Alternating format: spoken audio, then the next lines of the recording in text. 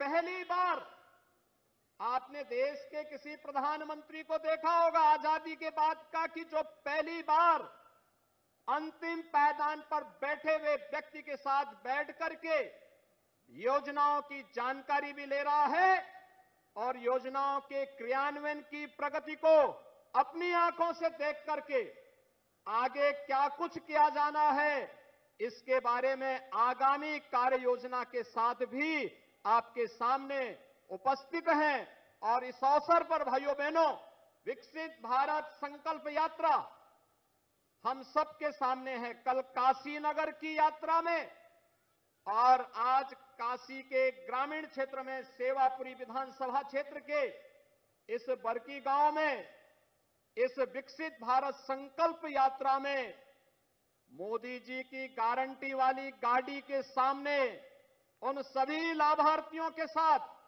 और यात्रा में उपस्थित सभी नागरिकों के साथ आदरणीय प्रधानमंत्री जी के संवाद को आपने लाइव भी देखा होगा। भाइयों बहनों, ये पहली बार देखने को मिला है। देश के अंदर पिछले साढ़े नौ वर्ष के अंदर जो परिवर्तन देखने को मिला है, ये परिवर्तन विश्वास का परिवर्तन है। ये नया भारत मोदी की गारंटी का भारत है।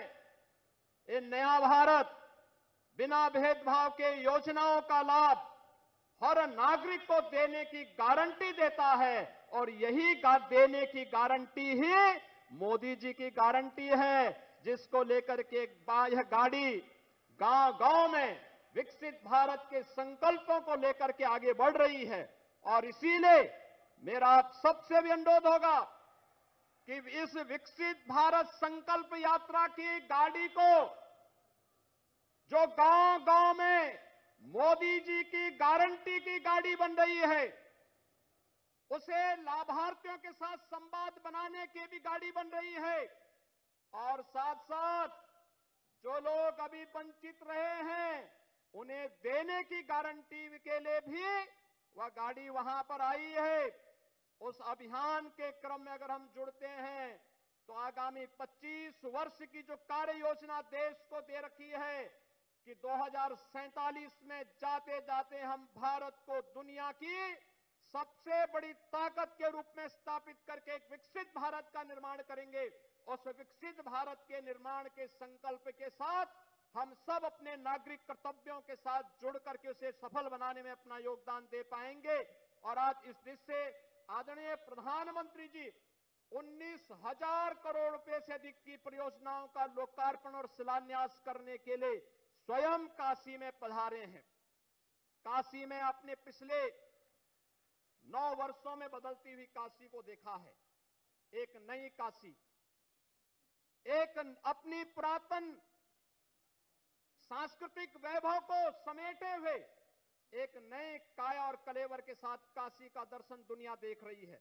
और भाइयों बहनों, उसी काशी के साथ आज उन्नीस हज़ार करोड़ रुपए की परियोजनाओं का, जिसमें इंफ्रास्ट्रक्चर का है ओवर ब्रिजेज के हैं, सड़कों के चौड़ीकरण के हैं रेलवे के हैं, स्वास्थ्य के हैं, शिक्षा के हैं, आम नागरिक से जुड़े हुए तमाम अन्य योजनाएँ हैं। उन सभी योजनाओं का लोकार्पण करने के लिए, शिलान्यास के लिए आदरणीय प्रधानमंत्री जी का काशी में आगमन हुआ है।